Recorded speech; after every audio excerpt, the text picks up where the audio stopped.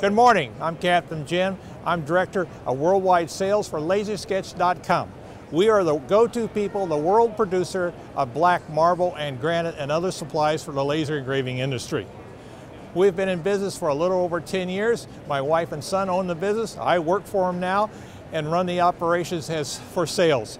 We make all kinds of materials that you can use in your lasering business. And we are definitely toward lasering. And, uh, there's many other products in the world, but we are laser people. Uh, yeah. We sell all the products uh, and the supplies that you will need to make money. We have a saying at LaserSketch, you have to make money before we make money. And that's what we're here to do, to help you out to make money. Some of our newer supplies that we've developed is LaserDark, which has just came out in the last year.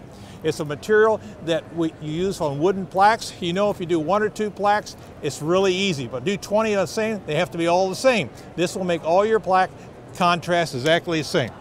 Our newest product that we just brought out is laser bond material.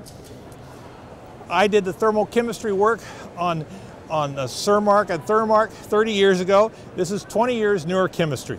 It's not any better, but it works easier. We grind it to a much finer compound, a little bit of different inks. We got better uh, thermal igniters in it, which absorbs the laser, laser energy, so it, it, can go much faster, and it's very easy to spray on and sort.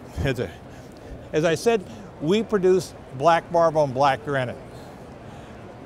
We are the largest producer of black headstones in the world. One of the ways to increase your sales is diversify.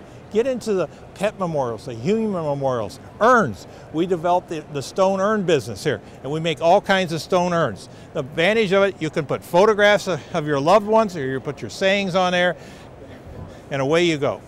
So, but lasersketch.com, as I told you, is the go-to place for the laser engraver. Thank you very much and have a great day.